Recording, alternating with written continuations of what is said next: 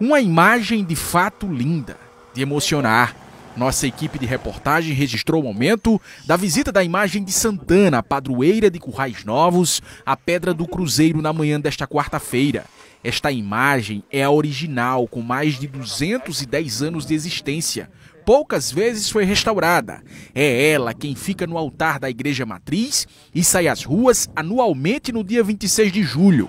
O padre Cláudio Dantas acompanhou o momento. Aqui é um, um ponto histórico, né, assim, também turístico da cidade. Então hoje a, a imagem original saiu do altar para tirar algumas fotos profissionais para a arte da festa né, de Santana.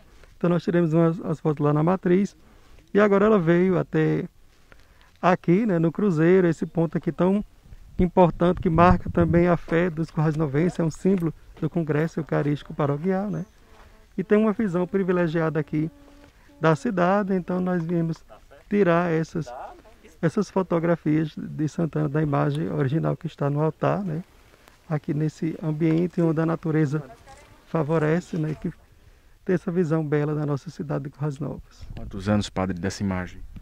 Bom, essa imagem, assim, ao certo, eu não, não sei, ela é uma imagem assim, centenária, né? A gente tem 212 anos de, de festa, né? Este ano, então acredito que seja desta época. É uma imagem em madeira, né?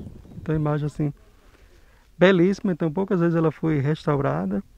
Está até precisando novamente né, de uma outra restauração. A gente sabe que não pode ser qualquer restaurador, né?